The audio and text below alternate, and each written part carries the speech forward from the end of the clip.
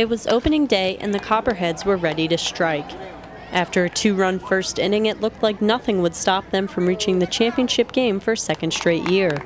Left infielders and OU Bobcats Wes O'Neill and Brian Barnes anchored the defense with stellar plays. Michigan State Spartan Ryan Jones had the hot bat with a 3 for 5 performance. Sophomore starting pitcher David Starn from Kent State was flashing his best stuff to the tune of five innings pitched, zero earned runs, one hit, two strikeouts, and two walks. But after going up 4 0, the Snakes' solid play began to crack. The Settlers took advantage of misplays and tied the score at 4 in the eighth.